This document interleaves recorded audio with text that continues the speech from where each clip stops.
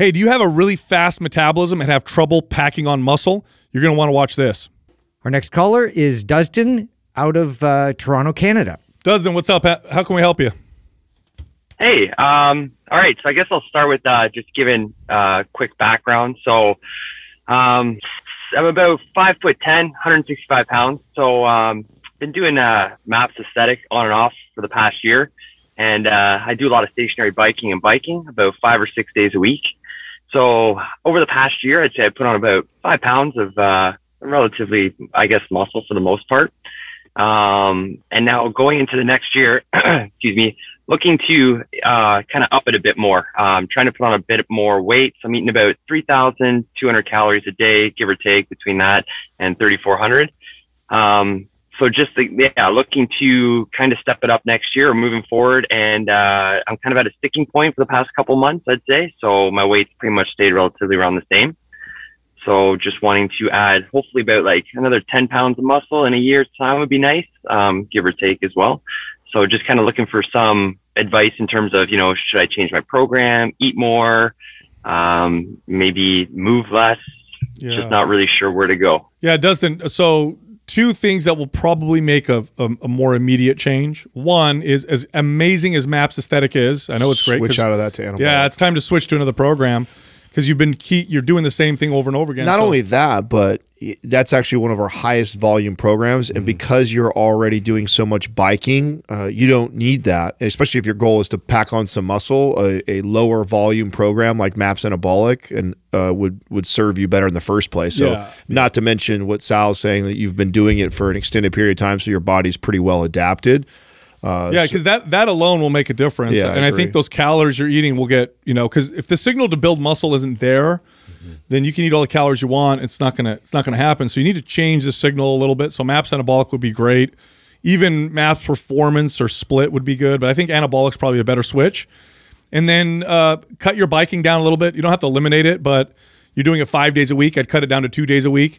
Those two things alone, with your current calories, will probably result in muscle gain. Now, if you want to throw calories on top of that, it'll happen a little faster.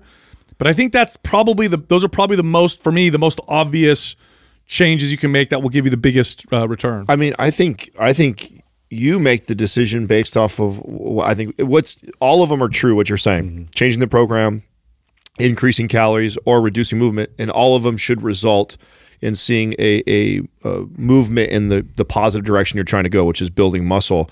Uh, you can you can do a lot of one of them, or you can do a nice blend of all three, right? So you could actually you could reduce biking by only one or two days, increase uh, calories, and switch program, and you would see great results. Or you can completely reduce biking and just switch over to Maps Anabolic and see huge results. Or you can significantly increase calories. It would really. Uh, my, my answer to you would have to do a lot. To, what, what what do you prefer? You know, so if you if I felt like you were a client and you go, man, Adam, it's hard for me to even get 3,200 calories. Well, then me telling you, hey, let's move up to 4,000 calories is going to be a really tough feat. So then I might go the direction of, okay, well, let's change your program up and reduce your your your cardio that you're doing. Well, maybe you go to me like, Adam, I just love biking. I don't I don't want to give it up at all. It's, it's a passion of mine and I enjoy it, but I still also want to build muscle. Then I say, okay, well, we got to boost those calories up and switch your programming up. So you've got a And lot I of I think that's for me. Okay. Like I like the biking, but I also want to, yeah, definitely like add some muscle mass as well. So I know I kind of want to dip into several different things, and I also want to kind of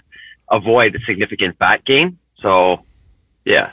Yeah, just that new stimulus. I mean, Yeah. going going into uh, a different phase where I, I mean, have you ever done one to three reps and that was the focus of just pure uh, strength driven exercise, you know, workouts, and that was like your your entire goal was just to get strong and then rest. No, I've never done like significant rest periods. I think like the most I've done is maybe like 30 seconds, 45 seconds. Oh, wow. Yeah, Oh, so that that new stimulus alone is it, watch how that impacts you and, and stay with it. And uh, I think that it's just it's mentally challenging for people to get out of their comfort zone with that. But you know, trust in it and and really like do it to the T. yeah, we'll, we'll send you maps anabolic. Okay, Dustin. All right. resist and like I want to just re- pile on to what Justin said because he's right. Uh, the hardest part for you is going to be you know, telling somebody uh, who's only rested 30 seconds to 45 seconds, maybe a minute at most, that I want you to sit and rest for three minutes. Just seemed like an eternity. yeah, it's going to seem like this is silly. This is a waste of my time. So uh, I'm- I'm going to we're going to try and stay ahead of this and in front of it for you and be like, rest those full three minutes. Give yourself adequate rest, way more than you ever have, and just and focus on every set you come back to, trying to be stronger and stronger under the bar. All right. Cool. All right, Cool. man. Thanks for calling. All right. Yeah, thanks. Love you guys. You guys are great. Thanks so much for everything. Thank you. Awesome. Thanks, Love Dustin. you too. I, I almost did that. I almost said that too. Hey. You, you know what's funny about this is that when you actually look at the amount of calories that your body needs when it wants to build another pound of muscle, Yeah. is not much. Right. It really isn't. So I know, and especially because he's already eating so much, a lot of times we're like, oh, let's throw more calories. If your body wants to build muscle, s oftentimes you don't need to jump your calories that much at all, or sometimes you don't. You just build that extra muscle. Well, I mean, that's that's why I made that point of like he could do like a subtle tweak of all of them, right? You could switch the programming, just barely reduce the amount of cardio you're doing, just barely, like maybe drop a day or Yeah. uh, or two on that, and maybe add hundred calories, and that could Yep. completely dramatically shift. I uh, like that combo. Right, that's a nice, and it's not really dramatic. He's not. I'm not saying you got to go way off the cycling because he loves doing it, and all you're doing is switching the programming. And I'm not asking him to eat a tremendous amount more, just 100 more calories. Probably a more successful approach because the abrupt turn a lot of times doesn't stick. right. Yeah, but that changing that signal, you know, it's uh, it's in in this particular case, I think it's going to make the biggest difference. Like lift differently when your body wants to build, it, it tends to build. Hey, if you enjoyed that clip, you can find the full episode here, or you can find other clips over here. And be sure to subscribe.